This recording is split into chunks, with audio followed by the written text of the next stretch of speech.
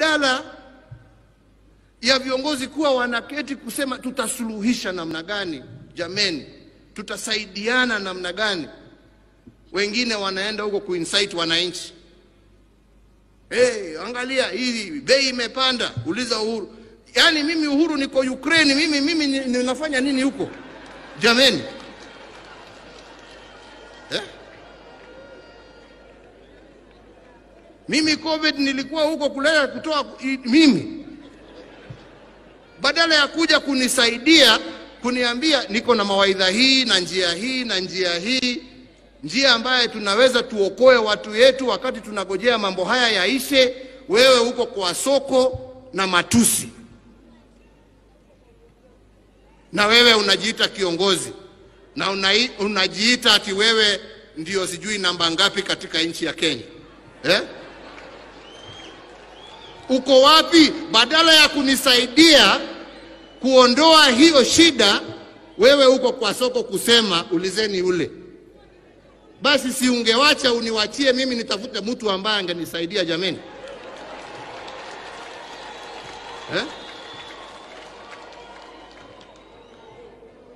Tuambiane ukweli jameni. Mimi wakati unafika, lazima watu waambiane ukweli eh?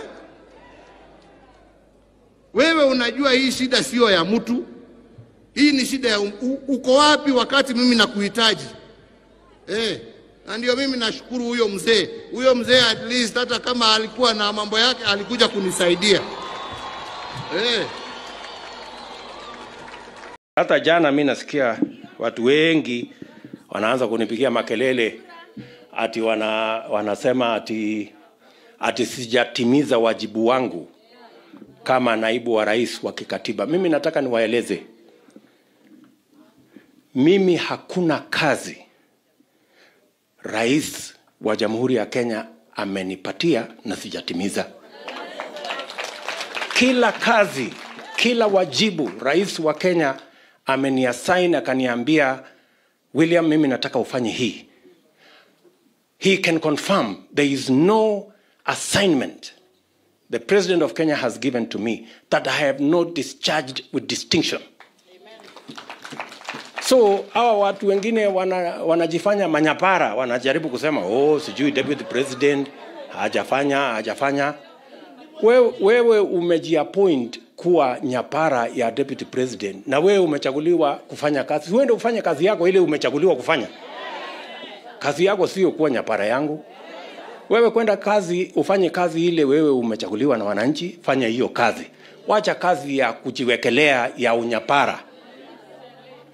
Mimi najua ile kazi nimepatiwa kikatiba. Rais ambaye ni eh, mkubwa yangu hajalalamika kwamba kuna kazi alinipatia sikufanya. Sasa wewe unalalamika kama nani? Na hiyo maneno unasema ya kwamba sijatimiza wajibu wangu, ulisikia wapi? Uli, uli... ulisikia wapi hiyo maneno unasema ati sijatimiza wajibu wangu? Na rais ambaye ni mkubwa yangu hajalalamika, wewe unalalamika as?